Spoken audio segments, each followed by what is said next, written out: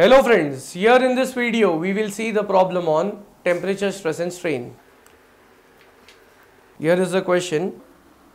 Whatever is given here we can write that in the form of data. Steel rod 4.5 meter long length is given. So it is 4500 mm is at a temperature of 28 degrees Celsius initial temperature. Find the free expansion of the rod when the temperature is raised to 78 degrees Celsius. So the temperature is raised to 78 degrees Celsius and for that we have to find out free expansion delta L. Next, if this expansion is completely prevented, find the magnitude and direction of temperature, stress and strain. So after this the next question is we have to find out the temperature strain and temperature stress. For steel take Young's modulus 2 into 10 raised to 5 Newton per mm square and alpha 12 into 10 raised to minus 6 per degree Celsius. So this much is the data which is given to us. Now with the help of this data, let us try to find the solution to this problem. Now, it is given that there is a steel rod which is being heated. So I can draw the diagram to explain it in a more better way.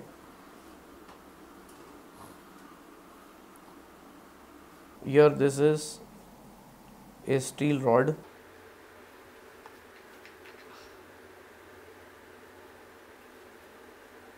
whose original length is L. Now this rod is being heated.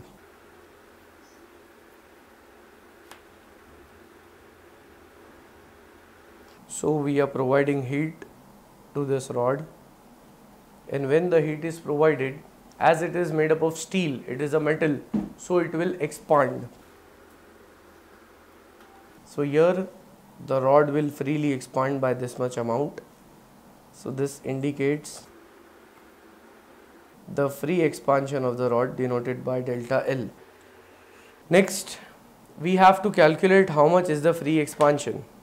So first I'll say that since the metal rod is being heated from 28 degrees Celsius to 78 degrees Celsius.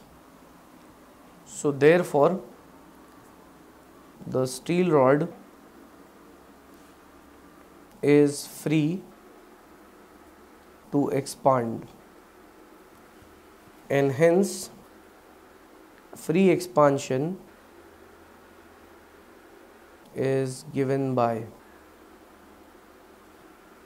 The formula is delta L is equal to alpha into delta T into L.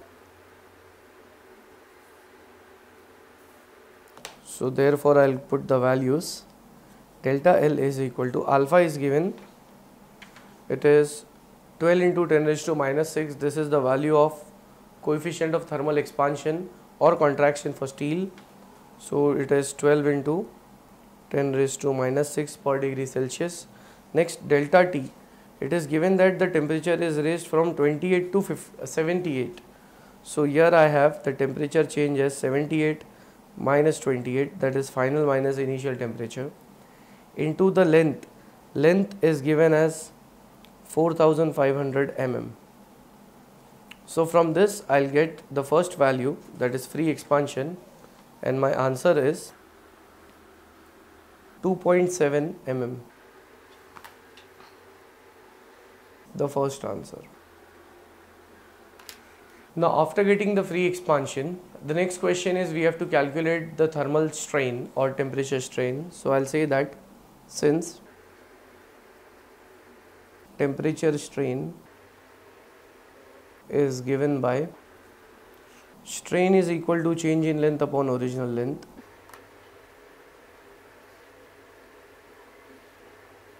So therefore strain is equal to change in length is 2.7 original length is 4500 mm so from this I'll get the value of thermal strain. My answer is 6 into 10 raised to minus 4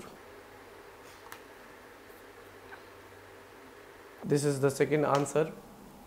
Next they are asking to calculate the thermal stress. Now for that let me explain that thermal strain how it would be developed. If we are stopping this free expansion free expansion is by delta L. And suppose we are stopping this by having a wall so that can be explained with a diagram that here is the metal rod. And after it has been heated it will expand freely.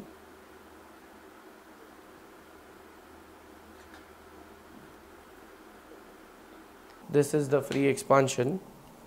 Its original length was capital L. Now if we are stopping this free expansion by suppose having a wall here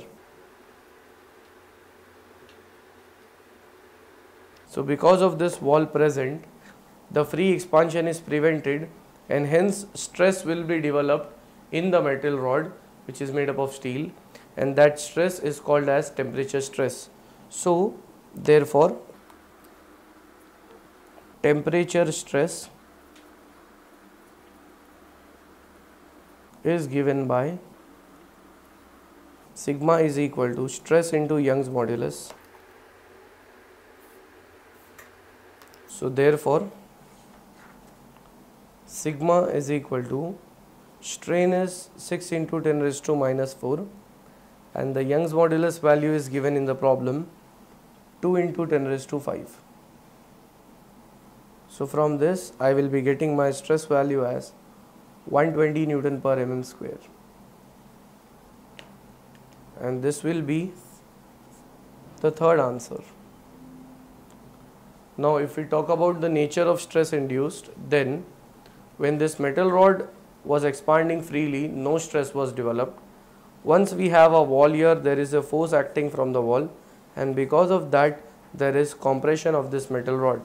So I can say that therefore nature of stress developed in the metal rod which is made up of steel will be compressive stress. So here if we look into this problem, there were three things or three unknown values which we had to calculate. First was deflection which was the free expansion, the value is 2.7 mm. Next thing was the thermal strain and that value is 6 into 10 raised to minus 4 and the last part was the thermal stress which is 120 Newton per mm square and once we have calculated all these unknown values we can say that the problem is completed.